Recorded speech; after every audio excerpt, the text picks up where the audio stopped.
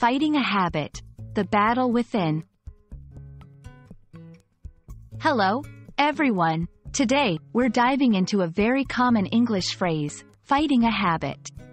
This phrase is often used in everyday conversations, and understanding its meaning and usage can really enhance your English skills.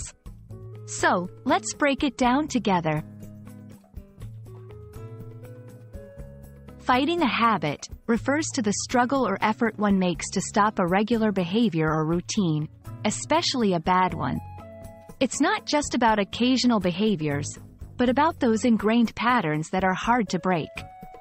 Think of habits like smoking, procrastination, or overeating. These are not just actions, but deeply rooted parts of our daily lives that require significant effort to change. Let's dissect the phrase. 1. Fighting. This word suggests a conflict or struggle. It's not a physical fight, but a mental or emotional one, where the battleground is your willpower and determination. 2. A habit. A habit is a regular behavior that is hard to give up.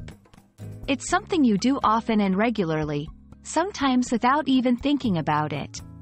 So, fighting a habit is essentially a battle against one's own ingrained behaviors. Fighting a habit is challenging because 1. Habits are automatic. They occur without much thought, making them hard to notice and even harder to stop. 2. Comfort zone. Habits form a comfort zone, and stepping out of it requires not just effort, but also courage. 3. Fear of failure. Many fear they might not succeed, which can be a significant barrier to even starting the fight. Understanding these challenges is crucial in preparing oneself for the battle against a bad habit. Here are some practical tips to help in fighting a habit. 1. Awareness. Recognize and acknowledge the habit you want to fight. 2. Small steps. Break the challenge into smaller, more manageable parts. 3. Support system.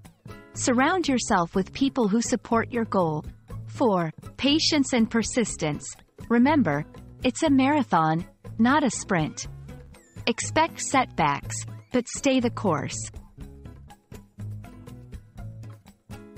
Fighting a habit is more than just an English phrase. It's a journey many of us embark on in our lives. Understanding this phrase not only enriches your vocabulary but also offers insight into human behavior and the power of perseverance. We hope this video has been insightful and empowering. Keep fighting the good fights in your life, and see you in the next video.